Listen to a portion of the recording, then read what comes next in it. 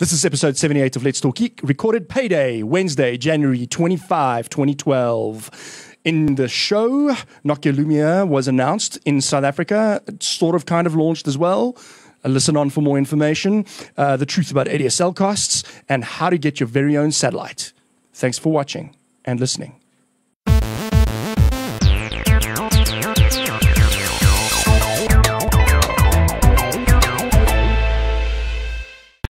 Welcome to Let's Talk Geek 78. Uh, I'm Tim Haak. I'm Johan Els. I'm Jan Vermeulen. And of course, we have the mixer.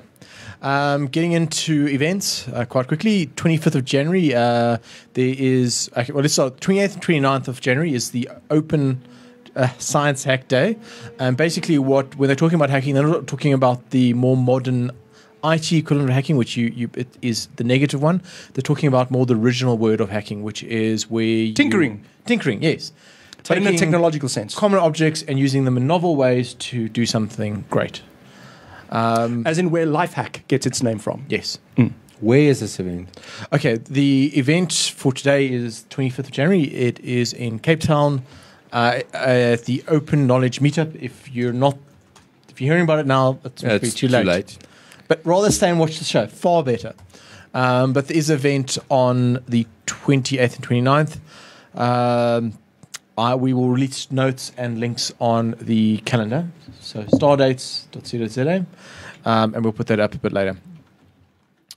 Um, into a bit more. 27 dinner, uh, we eventually decided is on Friday, which is the 27th. Uh, I know one of the speakers is going to be Simon Dingle. Uh, generally, it's quite fun to go to. Uh, I know I've missed the last couple, just life is too busy. Yes, indeed. I've also missed the last couple. But um, one of our journalists went to an event hosted by Nedbank for training up technology journalists, Mm, cool. speci- specific on the financial side of things. And Simon Dingle apparently spoke there, and he was quite entertaining. Mm, So I can imagine it'll be quite good. Yeah, yeah. Well worth it. Um, uh, another thing happening up is Alt uh, Music. We're starting a music podcast video thing. let's talk music. Yes, on Friday, first first show. Should be interesting. Okay. also on the same night as 27 dinner. I started to remember I was doing something on Friday. Our music one's gonna be way better. so who have you got uh, lined up to do hostess for us? Yes, we've got Dylan John Stewart and Rob. I can't remember his surname. Rob. And Rob, will be. Uh, both of them are part of a band. Uh, I actually don't know the name of the band.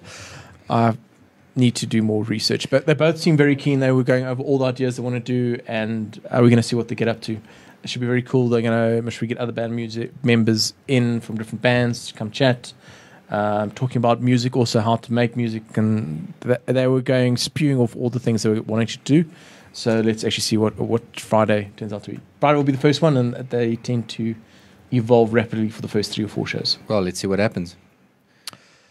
Um, obviously, all these things, star dates at COZA, go check it out. Uh, I think we haven't been giving it much love recently, but we're going to start giving it love again as Yeah, we're a lot of- the year. There's one. haven't- Did we mention the, the gaming event? Not No. Okay, cool. So there's also a gaming event happening in Pretoria, of all places. If you want to have a laugh about uh, about Pretoria, if you live in if you live in Pretoria, Taryn van der Bijl on my gaming takes the piss out of us. So uh, go, go have a laugh. Um, and uh, anyway, but it's in Facebook. The event's in Facebook, cool. and it's going to be held at Tings and Times in Waterglen, 7 p.m. tomorrow, Thursday. Waterkloof. Okay, what, Glen. what, what are they doing? That Not place. Waterglen. Waterkloof Waterkloof Glen. Glen. All right. And by the time the show is up, unless the show is up tomorrow, which it might be, Mm-hmm. uh, it might be too late. So for those of you catching the live stream, you can still make it. Go. Go. Click. I, I'll go. What, what are they doing at this gaming event? Uh, talking gaming, drinking booze, eating Oh, so not playing games. They say the monthly Okay. Pretoria gamers meet up, hook up, talk games, eat and drink stuff, have fun. Really, it's just no. Talking I'm games. not. I'm not going It's to an excuse there. to get together. Yes, exactly. Yeah, all right. Okay. Which is always cool. If you're into games, meet other like-minded people, then go away and play separately in different rooms. Sorry, no, I, look, That's I know how I enjoy this. my gaming. Right, just, I just remember the old, the good old days. We used to actually have to take your PC to somebody else's house and Oh, we, w- network them. And I was going to say we still do that, but we don't. no. But- plus, it doesn't really help because StarCraft, for example, which was always like a LAN party favorite, doesn't have LAN mode. Yeah. So you have to connect over the internet anyway. Uh, look, the routers are normally smart enough to just route the traffic locally uh, once you've registered the game and stuff. Cool. So that can still happen. But yeah, um, the internet killed the LAN. Oh well, um, but also there was some gaming event recently as well where they were playing uh, Do- Dota, saw Dota Two. Yeah, yeah. There's a bunch of comps and stuff happening as well, so it's actually Uh, quite interesting. s- Do Broadband's got a local Dota competition Yeah. coming up. Yeah. Also on my gaming, go check it out. Uh, all right, uh, into the topics. Do you want your own satellite? Yes.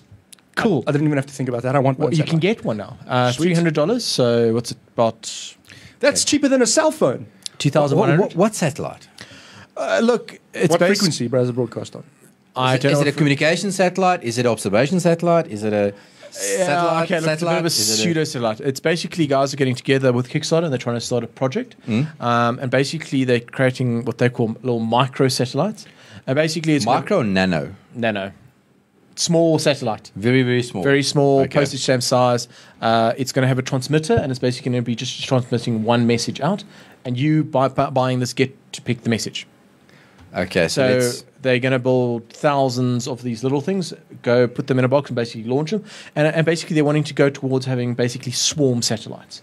And this is the funding to start the progress and the development and design and testing of this. So Skynet. They're building Skynet. Yes. Except step one won't do very much. yeah, okay. But I mean- that's how Skynet works. It's it's all insidious. But like the guy does say, Look. ultimate Greek kid, you had your own satellite. One thing to be aware: this the, these satellites, which is both a good thing and they will burn. They're not going to last long, so at most about three months. So then they'll fall back to the atmosphere, burn up. But this is also actually a good thing because it doesn't put a lot of more junk into space. okay. It's like a disposable satellite. Yes, um, and it's just while they're It's a testing burn, it. till- what, till- burn satellite, like a burn phone. Mm-hmm. Just a burn satellite. Send up, send a message, and come down again. I, if if uh, if How do anybody prove wants to build it? the darknet, I think this is the place to do it. Like totally independent satellite network. The Yes. latency is the only problem. It's not that bad for, for communication. If you're wanting darknet, you know, you're not wanting to do it for voice. Um, one thing, um, basically, what they do is, is these the transmission will be picked up by amateur hams, Mm-hmm. um, and you have your own personalized message. So you get to pick what messages get sent. Okay. So if your message will get picked up, and they're basically going to be tracking this as they're flying around the world. Um, and you know, there's different depending on how much you pay. You also get different things. Okay, you said postage stamp. That thing is a little bit bigger, but it's Uh, they they set postage charges. American Just the postage stamp. Yeah. Um, Not that I can remember what size a postage stamp is now that I think about it. It's about half a credit card if I look at that, butter. You actually look at the size of the fingers, so it's it's that big. Like that Yeah. chip is as big as your nail. That's about half a credit card. Oh, yeah, we're pointing at the screen big. for anybody watching the video. um, for those of you what, hearing the audio, we're pointing at Try the and screen. follow this. Try and follow the video next week. Um, but with those cool things, depending on how much you donate, you actually get different things. So there's one where you know you get credits and the rest of, and then the ultimate donation. I can't remember exactly what it is. You get to push the button that launches the satellite. Okay. That's ultimate geek cred. Law, law, or something. I'm not sure, uh, but basically, it's it's it's. It's a good start. I'm just Yeah. more worried about uh, being a frequent flyer, um, how this is going to actually influence the windscreen on the aeroplane. I mean, not very much. It will so. burn. It will burn up before it gets anywhere. Yeah. I'm worried about on the way up. Are they going to fly all of these into one satellite and then deploy them? Is that what yes. they say? So no, no, this is Oh. getting launched off, off like the way normal satellites get launched. okay. It's all in a big box, and once it reaches space, the box will unfold Fold and, start everybody gets a little place. Yes. Okay. Um, so little no, it's all- it's done properly. okay, I'm just checking. Just checking. Okay. Otherwise, how, Launch your own nano set. Because the top, the, the heading is wrong. it's not a satellite. It's going to be in geosync. Well, not geo. It's going to be in One of the orbits. yeah, not geosynchronous because he's going to burn up and die. Okay, now the next one. yes. How are you going to aim at it if it's moving? It has to be stationary, Why? geostationary, no? Why? Why? This won't be geo. Can't be in geo. I'm sorry. That No, orbit's it can't fine. be. Okay, okay, so It's going to have to be in one of the other orbits. okay, but then how do you aim at it? Why would you aim at it? Okay, Signals coming. Signals being. So what they're broadcast. doing is, as these things rotate around the Earth, they're going to have guys listening for it and picking up the messages. Uh, okay. Now, the other way, the, the, in actual fact, you don't need it to be as long. So it's not your satellite necessarily. I mean, it's yours, but I mean, you won't be able to access it all the time. Or you will for a short while. Look, if you think of some of the big satellites, what they do is actually have three or four of them, um, so that there's always one over you, and then they communicate backwards and forwards. Yes, yes. Um, and that's how they do it. Which is not as as we're getting more, and I was talking about all the junk in space. It's it's what's going to happen. There's a Anyway, grave. There's a graveyard orbit in Yes. space. I mean, like, let's. We, we can talk about that in Right. the next episode. um, This is just. are you bored of coding? Do you want more motivation? No. Okay, well then, don't code in Visual C because you now have achievements. and badges. What's I mean- achievement badges? I mean, badges and leaderboards. I mean, like, no. Well, look, actually, it's actually quite clever. Leaderboards. Because part of this, I would say, is guys they're wanting to teach people about some of the lesser known. Um, You did you did realize this is Visual Studio. Yes, You did you did, you did sections- read that. do you Visual know, Studio is fantastic. Do you know how many people code in Visual Studio? No, Visual Studio is great. Yeah. I've- You didn't read the part that said I, Visual I'm Studio. not going to be using it, but a lot of people do use Visual Oh, it's Studio. let- let- let me- It's me- not built into the core. Let me let me just correct this heading. Let's make it Microsoft Visual Studio. There we go. Um, and on the, look on their part, it's quite quite clever because basically some of the badges okay. you, you need to go into some of the features that are not commonly used but are quite powerful. Let me just ask this. Okay, the Visual Studio suite of software. I mean, I was going through our assets register. We actually bought a suite for development, I think, three years ago, and it was Okay. six and a half thousand rand. Yeah, Is that still the going rate for Visual Studio? no idea. I mean, that's a th- th- that was the biggest setback for actually starting to develop in the Microsoft or the Apple worlds. Is your capital layout just to get the development environment? So I, I get that, but I have heard from the guys who develop this. If you develop in for Microsoft, it really does accelerate your development quite a bit. It it does a lot of it does a lot of the things that you have to manually do in most other editors. a lot of libraries. Yeah, I don't know. That's just it's just the if the studio is like six and a half thousand rand, that should already get me like uh, three badges. Thank you. Okay, look, some of these achievements, by the way, just open up the page. Some of them are not that good. For example, there, there, there, there One is thousand lines. there is a whole "Don't try this at home" section of achievements. One saying have hundred fields in a single class. The next one, the next one is entitled "Go to Hell." Anybody take take a wild guess what that entails? It's use the go to keyword. There's also one that's something like No Life or something like that. If you caught coding at 11 o'clock at night on a Friday or a Saturday. You so know, they are, they are lonely. negative- oh, It's called okay, lonely. uh, okay. lonely. Forever alone. Oh no, I think it's it's it's quite a clever. It is. Okay, is let me it. let me rephrase it. It would be nice if this could come out of a more. What about uh, not slash dot? Um, Clips. Who is that? NetBeans. Yeah, but but one of those, those platforms of, of open source. No, man. Uh, Force. No man, the site that does open source. Oh, uh, SourceForge. SourceForge. If they start doing that sort of achievements, if your program is doing well, a lot of good comments, that would be Yeah, but more that- that- because they that- don't care what platform you develop. That would be achievements on how your program is doing as opposed to Plus that can your be, coding style. you can game the gamification there. Yeah. It, yeah. Anyway, but Anyway, look, it's interesting. It's it's Sorry, Visual Studio Professional 2010, 8,500 rand. yes. Here we go. And that, by the way, uh, I heard something very interesting about Microsoft's licensing terms uh, when it comes to this kind of thing, because um, apparently this does not cover like uh, what, what was the problem now? Um, it's like it doesn't cover deployment or, or something like Oh, that. your, It's- your your user licenses. Yeah, yeah, Your- yeah. you- oh yes, is it, there's a different library you need to buy to buy to build it. It does build a basic installer, but to actually because we had some guy developing for us, and the the installer where you can update your program. So basically, it will uninstall it and replace it. Doesn't do that. Mm. Uh, I'm not really sure. We had to basically reboot the PC every time we we did an update to the program yes, yes. um, with the, that installer. Yeah, yeah. Um, Uh, I'll, I'll, I'll just double check my facts, but there's something very fishy about um, the, the the way they do licensing. If you think you have your you've got MSDN and uh, and you're good to go, and you've got your per seat licenses. You're actually not. Um, Oh, no, no, once you start becoming I'm- successful, Microsoft will come knocking and they'll ask for more money. On price check, uh, the price I gave you now, 18,500, was just the development suite. If you want the MSD libraries on top of that, you're looking at 34,000 Rand. Yes, yes. 34 And even then, that's not good enough. So I'll just check my facts. I'll Oh, come look, back I must next say, week. I, I, I don't know. Well I don't done, code for Microsoft. Microsoft. they, they, they let you in. The thing is, they I leave you. code for Microsoft via the web browser. There we go. Okay. Anyway, um, Turn off. town turns Oh, off lights to see the stars. I read that all wrong. I thought it was turn turn off. in my. No. Okay, yes. Uh, Um, look, this is very close to a astronomy. Uh, basically, I think uh, I've got. Uh, I think this is in England, but they put off an area as an astronomy reserve. Okay. um, but not like our astronomy reserve, which is radio silence. This is light silent. And one of the towns nearby, they put a thing to also motivate and help increase tourism to the area. They've got everybody in the town to turn their lights off to show how well you can actually do stargazing with just um, binoculars. And half of the problem why we can't do it and why we aren't as interested in seeing the stars so well nowadays is all the light pollution we're creating. Fair, and that was one of the nice things being in, um, on the coast over the holidays. Is that's one thing, yeah, Yeah. You, you can actually see the stars. It's Mm. it's quite amazing, and that you can't see in town. But um, I just see so much. Yeah, this has got to be a very small town. I mean, I can. No, I must say, look, uh, but, it, but but then again, Eskom is doing it for us.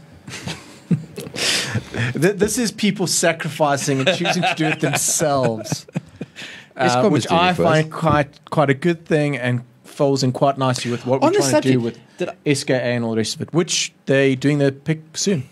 Uh, on this on this subject, quickly. Sorry, off off topic. Didn't uh, Google decide to, to stop development on the Sky Map? Yes, open source it. Are they going to open source it? Yes. Oh, brilliant. Okay, so Um, more so, they're going to stop funding it and doing it, but they are open sourcing all the stuff that they've done. But I mean, I was thinking about uh, what development is left. I mean, is it just adding the odd planet that gets added? But I mean, because the the software on its own is working. I mean, you use it to find the stars in the star, and and then.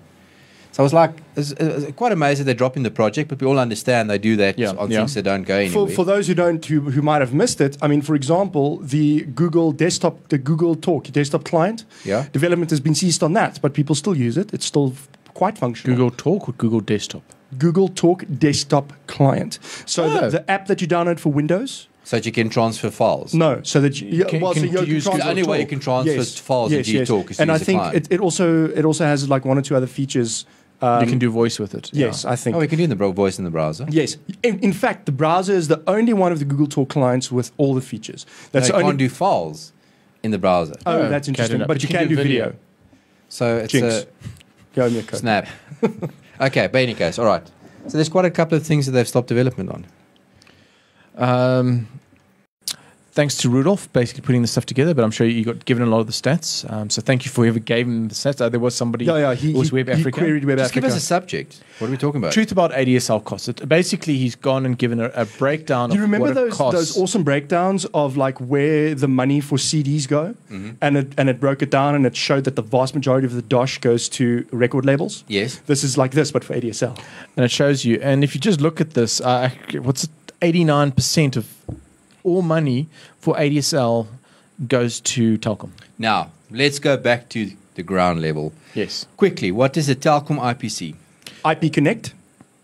So what Is is what it? it What does stand it mean for? for the ISP? Okay, let me explain how ADSL works. Just let's go that. Yes. When you dial in, so when you dial in a PPOE connection, or the connection that you put in your ADSL modem, Yes. what you're actually doing is you're doing via Telkom, via your ADSL modem, a IPC connect through to the service provider. Okay. Right. So it's a tunnel It's a tunnel. from your modem into your ISP. Yeah. Point to point over Ethernet. Yeah, you think of it as a VPN to your Ah, ISP. At that point, you then break go via their network through to the internet. So you pay the, the, the ISP pays Telkom for that VPN. Yes, and it's billed on a per meg basis, Mhm. and you got to pay. I can't remember it's monthly, but I, uh, I think it's some. I can't remember. I'm not going to give exact amounts of what it costs for that. Okay. Uh, but here they've gone and done a breakdown. Um, now, there's the breakdown that he gave us on my broadband. Uh, I don't. Oh, you said it was for the one meg line. Okay, so the one meg Okay. ADSL with a 10 gig ISP account. All right. Um, the phone rental part, the 140 rand. Yes, we all know that's a big fight, and that's going to Yes. hopefully get sorted out soon. I want that to be part of my. I don't mind if you charge me that, but make it part of my ADSL and separate it from from the cost. Okay, but has anybody actually decided what's a fair charge? Because that phone rental line is the copper line. Has anybody actually decided what's a fair rate for that 140? Um, what do you mean? Because everybody says they don't want to pay for voice, but what is a fair rate for then for the copper between the house and the Okay, but my argument is I'm also paying for my uh, ADSL line. Mhm. But we all know that technology-wise, the ADSL line part is the modem sitting in the exchange. Which we basically pay off in like two, three months. Are you referring Okay. to the DSLAM? The Yes. DSLAM, yeah. I mean, that, that's the that's the ADSL part of it. I mean, but and and what makes up the phone rental side is the copper. So yes, the strongest argument uh, uh, uh, during the local loop unbundling hearings that uh, we did stream live, and you can find it on our channels. Um, Th- that's why we brought it in. They saw it in the street. so. Part of, yes. part of the discussion there was yes, um, but then why can you have prepaid telecom services where you're not paying monthly for the copper? because they, they build it into the cost. So that's normally how So it then works. it works on the call cost. yes. So if I get a if I get a prepaid telecom line at home, You will pay it, will it expire in three months? Will it like like a prepaid cell phone account? Will it actually expire? If- if I haven't used it in three months, Uh, with you work for me on my question. Yeah. You understand where I'm coming from? I think with prepaid there is a upfront cost or something like that. I need to look into this. Uh, Just so that we've got comments from the IRC. Please, bring them th- in. th- That um, uh, the, the the telecom cost, the line rental cost, is regulated by ICASA. yeah. Um, uh, so But the ADSL Okay. portion isn't. yes, the the the ADSL. Uh, you're talking about the 413 or the 289. Yeah. No, but that's my argument is, is build the two together. So don't give me as a separate one. So if somebody wants a telephone line, charge them whatever, and then I do not want to pay. I don't want a telephone line from Telkom because keep on getting phoned on it for people who aren't me. Because I actually the only reason I have a line is to have an ADSL modem. I do not want the line. Yes, yes. So what you're talking about is naked ADSL. Yes. Um, so uh, when you're talking about, so basically you want to you want to say that you want to be billed for the copper portion and the logical And ADSL tone. portion. The, yeah, the, so you the dial tone should be a separate. I charge. don't want to be statistic saying I'm one of Telkom's voice subscribers when I actually don't use it for voice. That's a good, that's a good statement. Yeah, because there's how many people that are being char- uh, being added to their statistics, and all they're actually using the line force for ADSL. Yes. Good argument. Good argument. Um, But yes, to come back to Rudolph's effort here, this is brilliant. Um, thank you, Rudolph. I don't know if we're actually going to get anything. Anything else? Is, is, I hope this. I don't know. How do we change it? Um, well, there's nothing really to change because the, the fact is is that, I mean, P- Telkom gets a bad rap, and, and I understand why. Is because I mean, people feel that we should be at a point where we're paying less for the service, um, and there are many factors influencing it. And I don't really want to delve into it now. We've done it in many different shows, but the bottom line is um, that uh, Telkom are the, they're the only company who is willing to operate a copper network. Nothing is stopping anybody else from rolling out a copper network, uh, like physically speaking. What's stopping them is money. Um, so So now they're fighting to get access to Telkom's copper. to Telkom's copper Yeah. because it's just not feasible to roll out your own copper network nowadays. Yeah. Um, so that, that's the only way to really, I want to say, fix this problem. Unbundle the local loop in whatever, you know, like it can be phased, just as long as it gets done. Um, so uh, right now they're talking about bitstream access. That's a fantastic first step. They're talking about naked ADSL, even if it drives up pricing and increases competition, it drives up pricing in the short term. If it drives up competition, that's fantastic, you know, in the long term. Um, so the, the fact is, Telkom operates the cable. They take they take all the risk. So the money does need to. There has, the money I- has I- to go I- to them. don't mind paying them. Um, it's just if you look at, they basically are squeezing people out of it.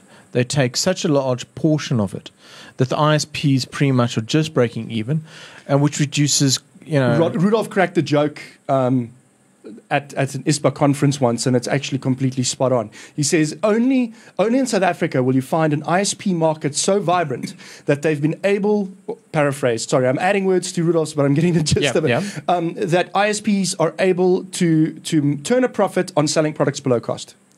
Um, so, I mean, it, that's almost what's, what's happening in South Africa. which it shows you in the bit where, where they are allowed to compete in the price and in the same, it's brought costs down. Now there is no competition for Telkom, and that's maybe it's more. I Yeah, just yeah. want And, and to talk about the challenges, something that's come up, um, I, I had the opportunity and it, and it was great. And um, you know, I'm actually quite thankful to the people who helped set it up. I got to interview a man called Theo Hess at Telkom. He is a chief in charge of network field operations there. Um, great guy to talk to, and he just we didn't have a lot of time, so what he took me through was just what they're facing in terms of cable theft. Um, and like, if you just look at the graph, the, the, the article, the, the, the first article on this is, is up on the site.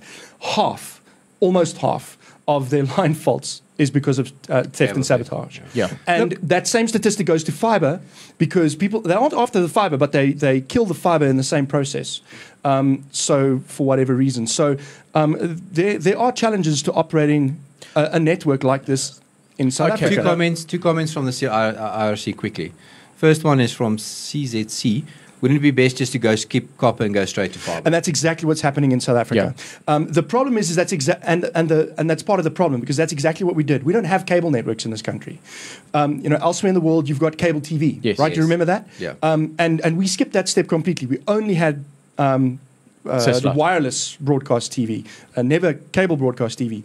Those cable broadcast uh, things were then turned into ne- internet, Internet delivering services, yeah. services, right? We never got that. So we are skipping straight to fiber, but the, the startup costs for fiber, and that's another comment in the thread, it's actually absolutely correct. Um, they are incredibly high, and people in industry are pegging, for example, in a residential area, to trench just from the curb to your house. Is twenty thousand bucks to put in fiber into Yeah. your house. So uh, what we're looking at, and Jan Okay. van Sale um, put this, laid this out beautifully. He's like, follow the money for how this development will work. What's going to happen is from a wireless operator side, is they're going to roll out fiber to their base stations and to their towers. Then they're going to put up LTE to do the last mile. Um, and so, and then you know, once that starts making money, the, the, the that local loop will get shorter and shorter until everybody's like within one kilometer of a distribution LTE, point. yeah. and then taking fi- putting fiber from there to your premises, you know, will become more and more feasible as time goes on. Okay. Oh, wait, before we go in, one thing, just bring us back into the ADSL thing, right? So I'm paying for the copper. So it cost me about 400 and something rand for the copper to, to the exchange, which you just said is actually the expensive bit. It then costs about, in the range of, I think, about 4,000 rand for one meg to the service provider. Yeah, that is something, and the IPC that's- costs also so are too basically, high. in a way, they're charging me and they're charging the. Uh, I've, I've got the same beef. Sorry, Jan, we're interrupting you. You're trying to get in a word edgeways. go. um, but I, I've got the same beef uh, to, to draw parallels to the hosting market. I, as a consumer, pay my service provider, my, my ISP, for data. yes. Um, and as somebody who buys hosting, I buy I, I pay my hosting provider for, For data. for data transfer. So that that data transfer is being paid for twice, in my Yeah, opinion. but that's where MWeb has now shaken the tree because they've given you uncapped hosting. yeah, yeah, yeah. Because they've sorted out the, the, the link between the ISPs. Because you're absolutely right. If you're not with MWeb, you have another ISP. There was a lot of fees involved to get your data from that network Yeah. to MWeb. And so, and so that's So- another place to, to get you know costs down. By the way, is never mind you know all the money flowing to telecom. People are complaining about IPC cost. That does need to come down. Cost does need to look at it. Um, but there's all kinds of impact assessments and stuff that they want to do. I know we need to Anyway, move we're along. gonna- the other yeah. cost that needs to come down But I is need the to cost bring up of, another of comment. local local access, local fiber access from our points at the coast, like where Seacom and those cables land, Yeah. to Johannesburg. That, that backhaul, those prices need to come down. It costs more than international backhaul. Mickey D is asking a very good question. Neotel was supposed to help this problem. Um, What's your comment? Yeah, Come, my, quick. No, no, quick. What Neotel says is that they were never supposed to compete directly with Telkom, and it's and it's a very interesting statement. I, I've actually not made too deep a study of it, to be completely honest, because I, for one, you guys remember, I remember the hype. Yes. They Yeah. were supposed to be the But al- SNO. Also, remember they were going to do and get all these things, and they were going to get uh, the facilities from uh, the governments. They were going to take over the Eskom network and all the other. And they did take over the Eskom network for a while, No, and they then they got. No, split no. off from them. They never got it. They got Before, exclusivity on that network with no cost. before as I they got to it, uh, government rolled it off into Infraco. Infraco. Yeah, but Neotel still had exclusivity on that network until last year. So Okay. they did have access to the Eskom network until last year. I just want to make one comment. I did have Neotel. They screwed it up and I cancelled it. Yes. Yeah. Um, moving along. yeah. Anyway, yeah. talking about five and all the rest of it, let's bring it in. Also, uh, Stephen Song of uh, what's it? Five.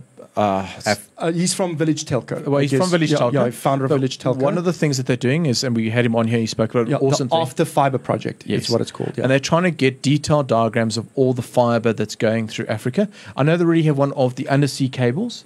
No, no, no. He's personally looking after this map.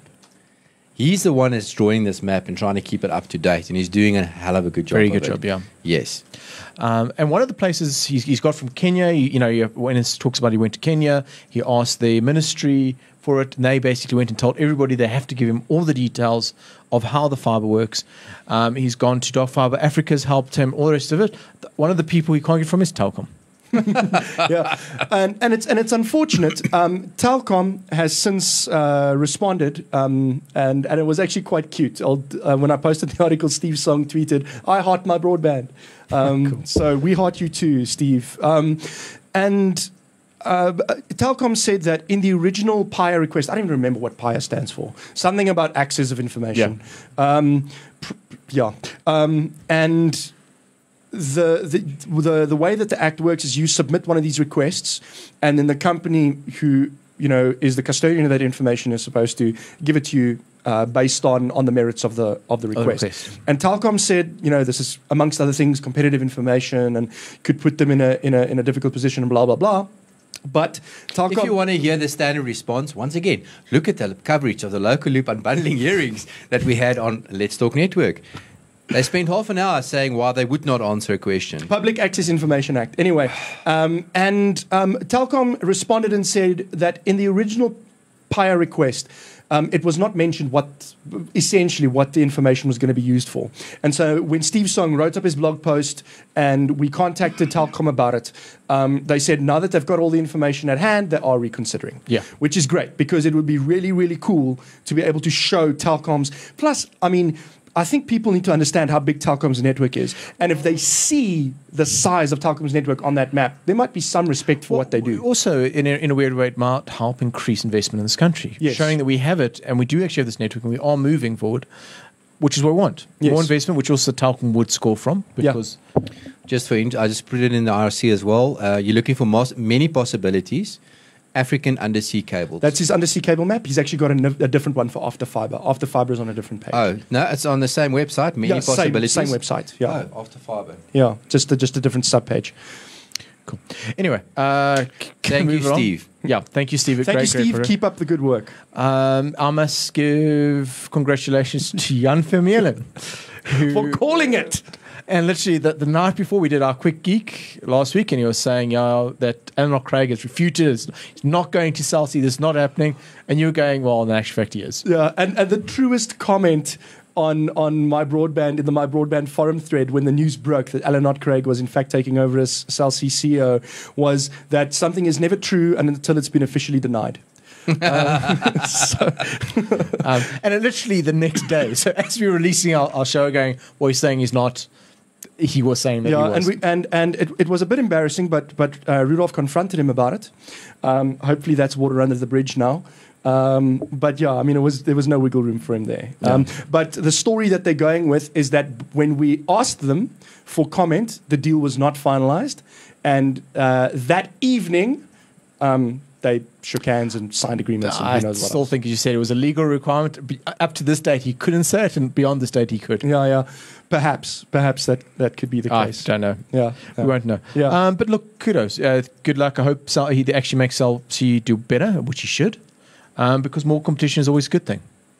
Yeah. And hope he continues what uh, Lars uh, takes from Lars and makes it go further. Yeah, yeah, and and it's a good thing. I think there's a lot of positivity here. I know there's a lot of uh, there's a lot of speculation. A lot of people know, you know, the real reasons behind the departures of the original executive. Blah blah blah.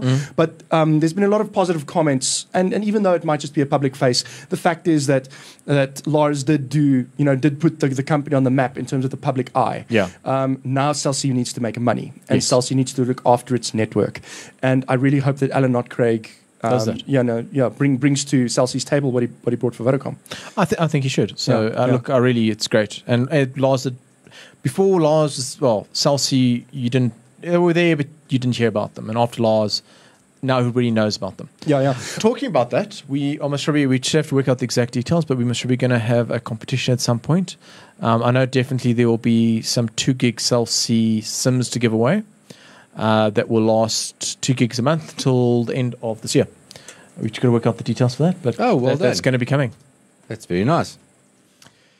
All right, cool. Um, and then tonight I went to the Nokia Lumia launch. For I have this, I the- must just say- I have the pink bangle to prove it and everything. Where's that camera? There's the camera, and it says, for those who can't read it from there, "Have an amazing everyday." And it says media on the badge. Anyway, um, so they uh, launched the uh, kind of launched the Lumia 800. They announced the launch. Yeah. Well, they launch, they're launching it tomorrow, but, So only, but only for one day, launch. and then it'll come back in February. Um, it's exclusive to Vodacom for now. Yeah. Um, it's two seventy nine a month on a business talk chat call, business Okay. call. There we go. Um, and you get hundred megs of data every month. And if you If you go tomorrow, the first 200 people will get Lumias in this country, first 200, and you get an Xbox Arcade. Are they're only going to sell 200 Yes. units tomorrow? That is that's all they've got. That's it. Yeah, Okay. Is this to generate a bit of an Apple line and have the whole hype about it? They- but the thing is that they said because obviously of the stampede at that university, people aren't allowed to queue until the doors open at six. So I don't know how they're going to you do, enforce you that. like hover, beats me. and then that's actually going to cause more more chaos. Just let people queue. Yeah. Let people queue. Put two security guards there with shotguns. no, what, what what what they started doing with because of crowd problems on the Apple products is they let you queue, but they give you a number. So you're the first one at the door. You're number one. There you go. And it's, it was only in one. It was in China where they had the problem. Everywhere else, they've always been quite civil. So, So- I always find when people don't queue and then suddenly they open the doors, everybody rushes to get in the front, and that's when you have your fight. Anyway, yeah, but apparently the way they're going to control this is with tags. You arrive, they give you a number. There you go. If you don't get a I am not a number. You Anyway, go sorry. home. Yes. Nobody anyway, has watched the so first one. Nokia Lumia, the device, Windows Phone 7. I know this uh, this geeky podcast eschews all things Microsoft, but uh, it's it's a nice look. I still Microsoft, it, uh, the, It's the, the nice Metro phone. UI looks. I want to care. feels I want to. I want to. I just. I, And the, the Nokia, the Lumia 800 looks like the Nokia N9. I must ask you: Do you care? Uh, yeah, a little. Um, because uh, the, the stats from last year showed that Windows Mobile is, I think, the third most popular smartphone in the country still. Windows Mobile. Mobile. Not, not phone, right? So this is people on, on old Okay, devices that are looking what to upgrade. what I mean but by- how much of that's our corporate deployments? yeah, yeah, yeah, but that Yeah. doesn't matter, So does it? When I say do you care, will you go out and buy one? Uh, no, I'll take one for free though. If No, no, no. If you want to, it's it's, it's a beautiful one. I'll play with it. I still, You know, I'm the Windows guy. yeah. I think there might be a future if this product with something like Windows 8 actually gives you a better. If they keep on pushing it the way they're pushing, this this phone will be a force to be reckoned with. It will be the third one, which I'm very happy about. Yes. They must just keep on doing it. They, they're making all the right sounds, all the right moves. Just keep on doing it. Uh, Microsoft seems to be moving in a very good direction at the moment. Because um, I st- unfortunately Android doesn't give you the, the, the, the flexibility between device and your notebook or your desktop. Android's not there. explain that statement. Where Mac, Apple is, is very Yeah, is yeah. there. But my problem with Windows it's Phone. Not, it's not one seamless. Yeah, but you have to have the, you have to have the whole ecosystem, which irritates me. Winmo, and that's what I love about Android. Winmo is the same. If you're not on Windows, forget about it. You need the Zune software. Uh, well, you can get around it without Well, it, but it's still. People are buying Apple because of that. I And they're, they're buying an Apple No. phone, an Apple tablet, People an Apple. are still buying Sorry. more Androids now. Sorry, it's about their, their, their Android has way surpassed. No, no, okay. Apple. What I'm saying is, you, you tend to find a guy with an Apple uh, uh, notebook who's also got an Apple phone because yes, the because ecosystem they, is they- one. No, because they, they want the brand. There's a lot of that going on there. It's So not about the same ecosystem because they work differently. For So all I- you say, they still work differently. Anyway, what what Anyway, I really still don't want one. Yeah, I just wanna be what really counts in Nokia's favor.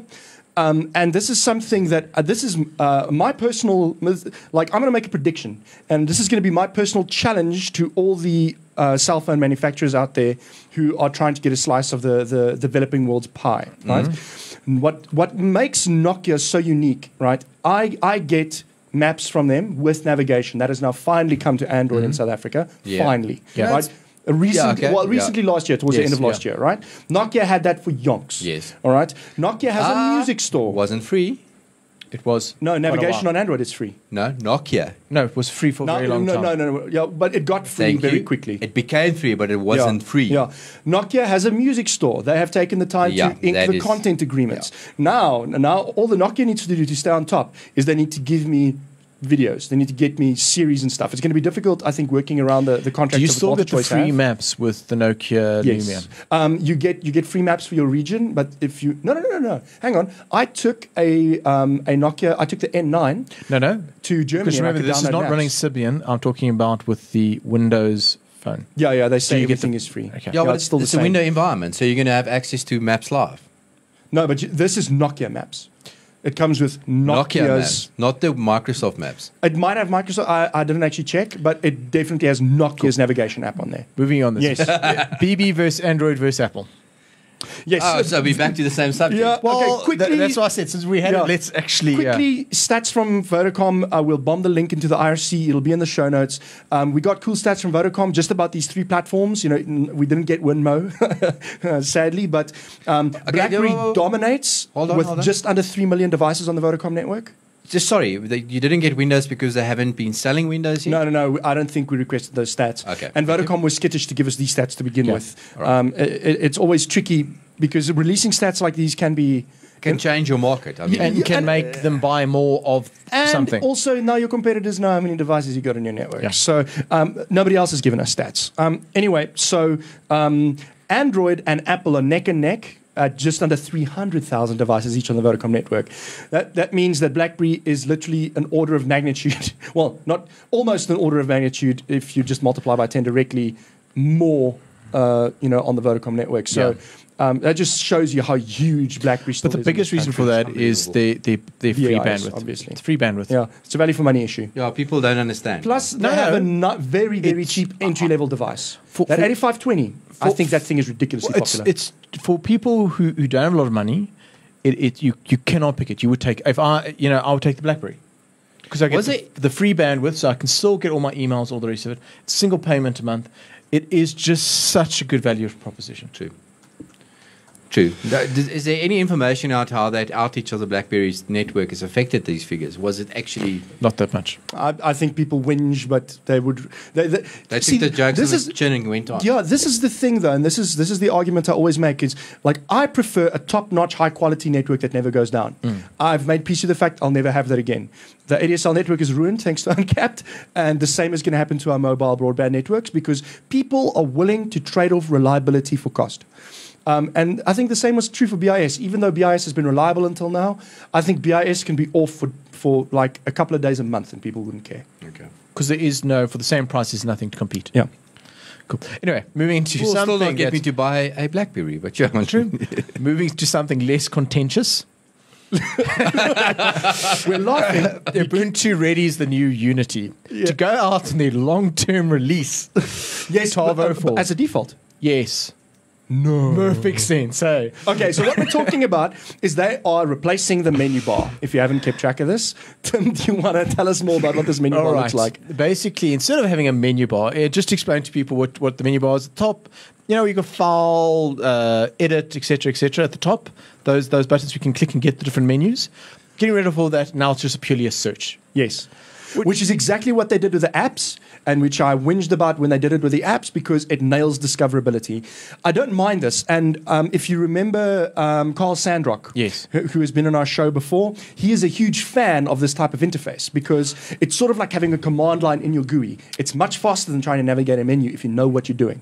As long as they make it work with dual screens with Unity does not work, and it is painfully slow to get.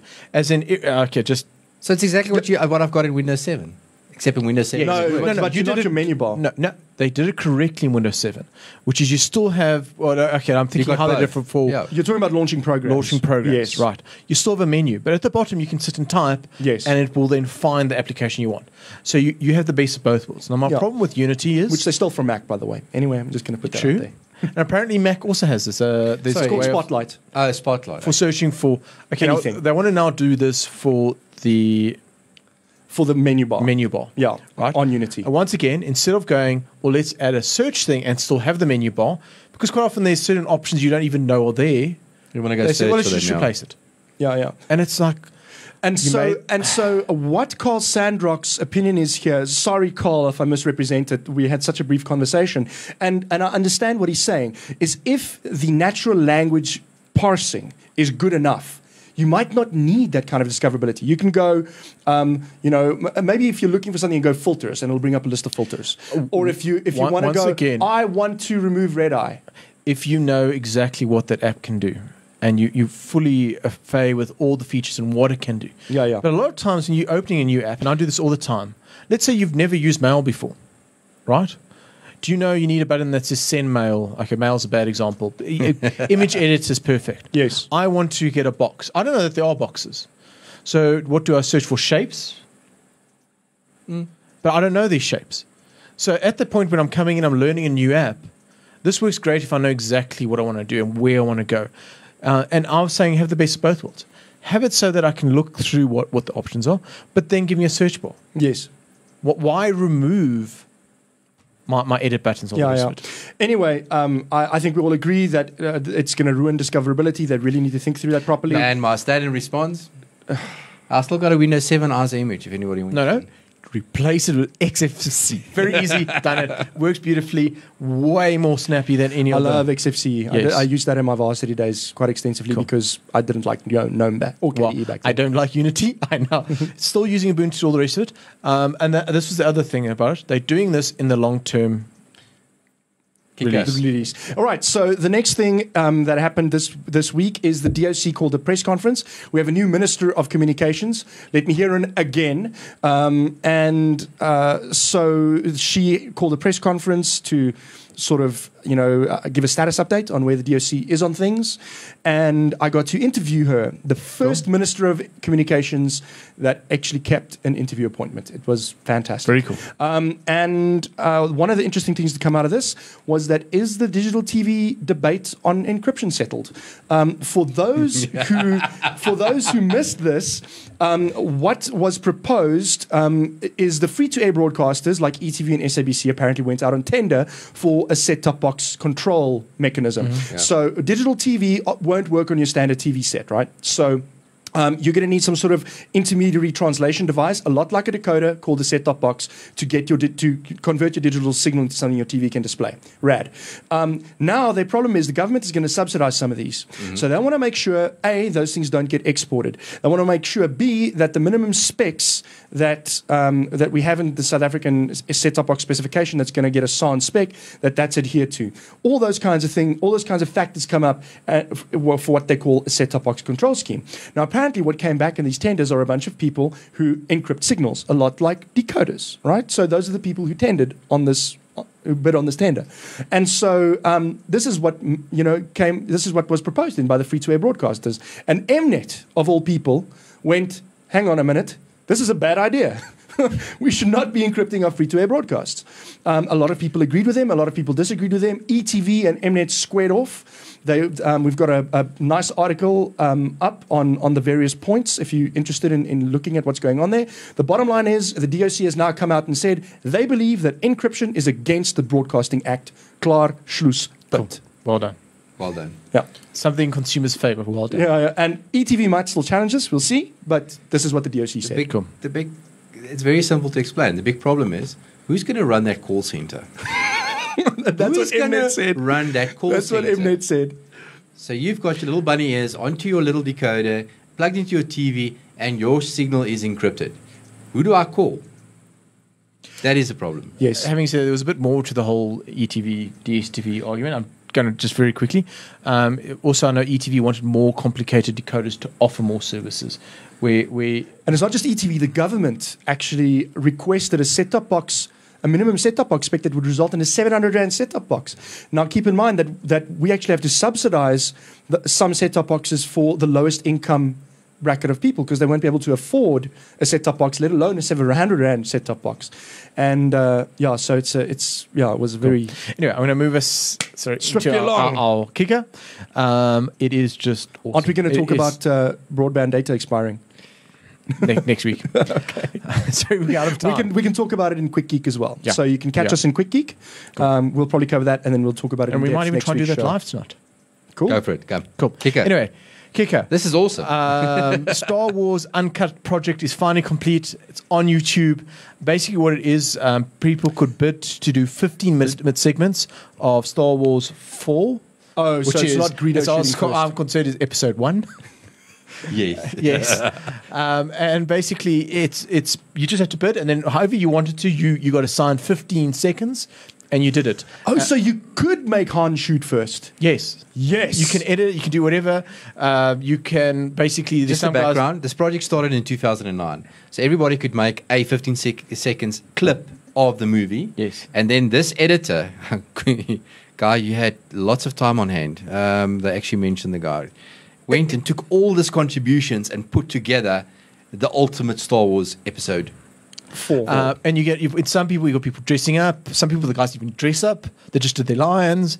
Other ones they did drawings. Some did animated ones. Some did where they took the original video and like altered it slightly. this sounds awesome, and I know exactly what I'm doing for two hours when I get home. Um, and look, just watching the bit, and look, I'm saying I just watched it, like zoomed a bit and zoomed a bit, just to see the different things people did. It is awesome. It's Imagine just so awesome. a two-hour video in 15-minute segments. Yes. I would Seconds. We've contributed Right. Oh, 15 source, seconds. source content from I don't know how many sources. I mean, like I would cry.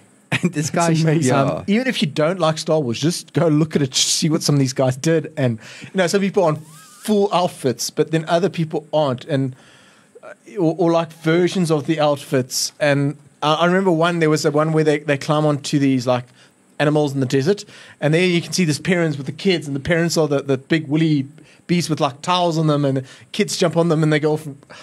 it's just, it is very trippy. It is so worth it. And those, if you if you missed it, uh, Star Wars Episode One, um, 3D is being launched, so you can now go and watch Jar Jar Binks in 3D.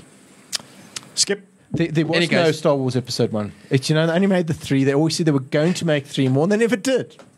So Okay. sad. It's, it's bad. It's, it's it's like you know Matrix. They ended it at Episode One. yes. It's like, yeah, the, the Matrix was great. They should have made sequels. Yeah. All right. And on uh, that- with that, we're going to end. I just want to say thank you to Jan. Where can they find you? At mybroadband.co.za forward slash author forward slash Jan Dash Vermeulen. or you can just type mybroadband.co.za and, and I write a lot Cool. of articles there. I'm the staff writer. Rag on me there. We do. I'm also on Twitter at JanVZA. Awesome. Cool. We're going to find you, Tim? They can find me on Twitter at Tim underscore Haak. Uh, and yeah, that's pretty much it. I did have a blog, but I must say I don't think I've updated for about a year and a half. It's I just- terrible. I have about 20 cute posts that I need to just flesh out, and I've never.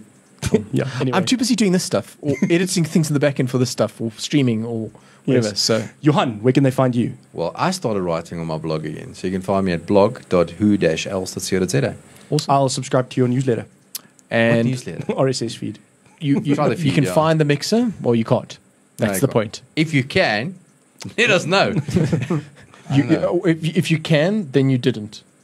It's like that whole thing, you know. And it's uh, Hitchhiker's guys. You know, if they, there's a theory, if anybody can work out the meaning of how the universe works and all the rest of it, it suddenly re-evolves and gets more complicated. So then you don't know Yeah, the meaning anymore. confusing me. And and the, the theory is this that sounds like times something already. from the Hitchhiker's Guide to the It Galaxy. Excellent. Awesome. Well With that, Thank you very much. Catch the rest of our shows. Yes, Let's talk music. Friday, Yes. Let's talk Afrikaans. Tomorrow. tomorrow, Let's talk sport. next Was week, yesterday. Tuesday, Okay. And let's talk possibility. next week, Monday. Did I miss anybody? No, it's five shows I now a week. I, I think it's eight. Yeah. Like really, you and don't watch out. We'll do. We'll start doing events. just again. cancel your TV license and come watch us.